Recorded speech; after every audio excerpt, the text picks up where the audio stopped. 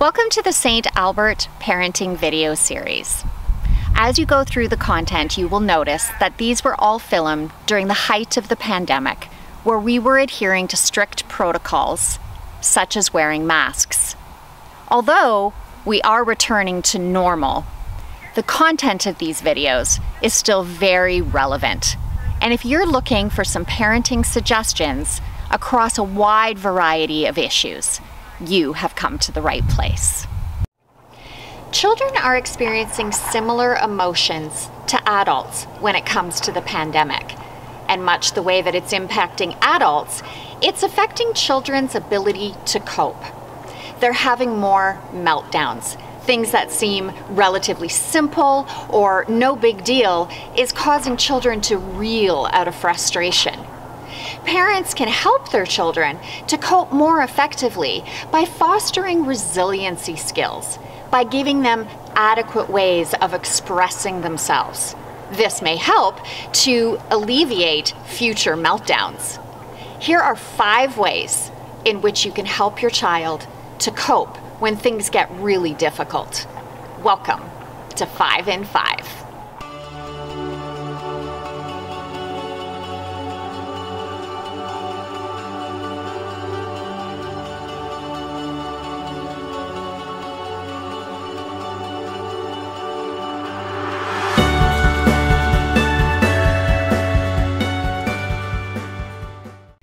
Whether they intend to or not, adults teach children how to act and react to their world from a very early age.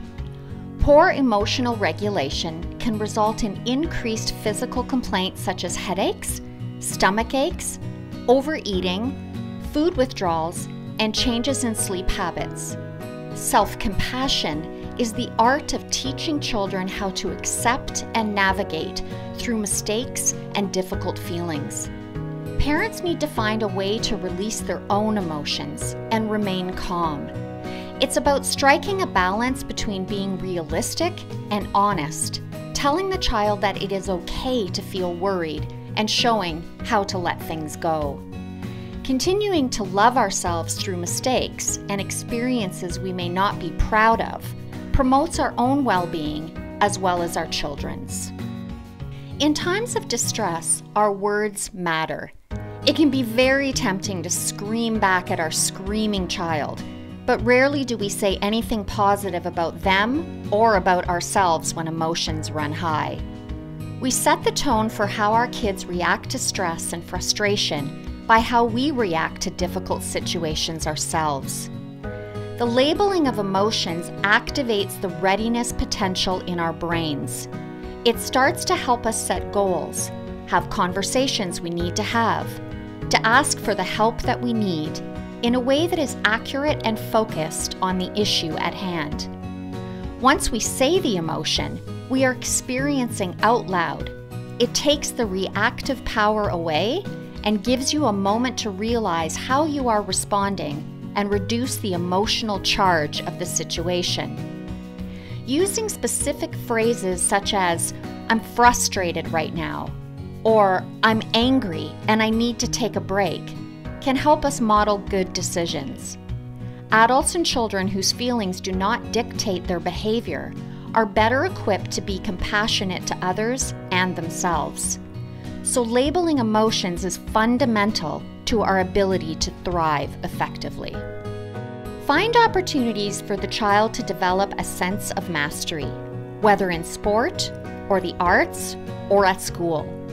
Any experience that promotes healthy self esteem will provide them with transferable skills, tools for dealing with more difficult situations.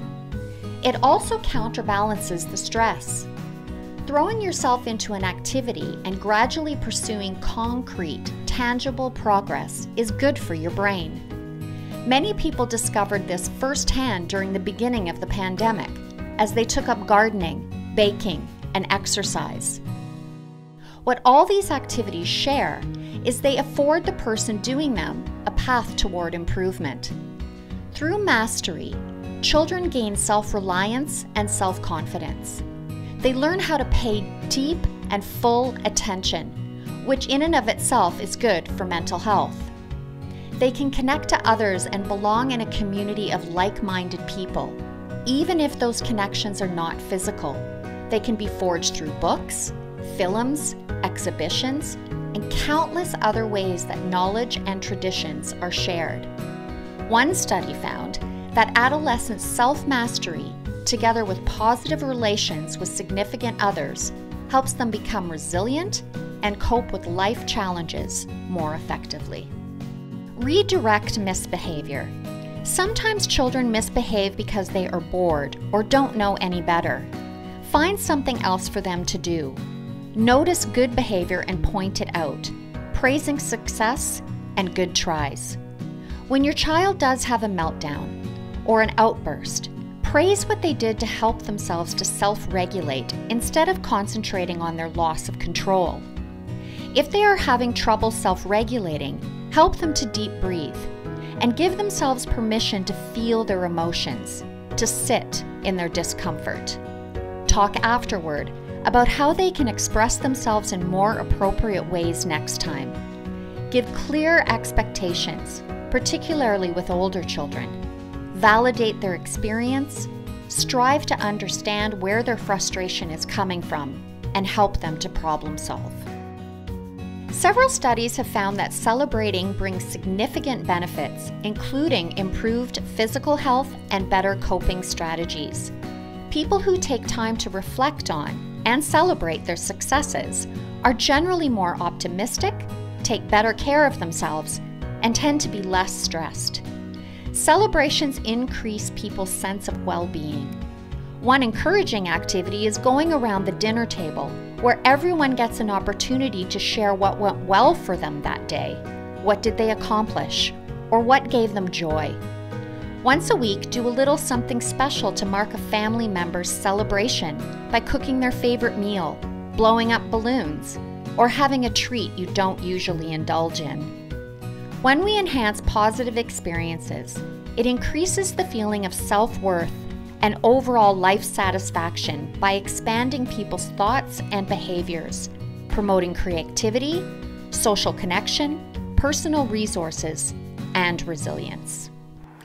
Parents should watch for and question reoccurring behaviors like isolation, poor appetite, sleep disturbance, not getting along with their peers, reoccurring misbehavior as something more serious going on and should seek professional help.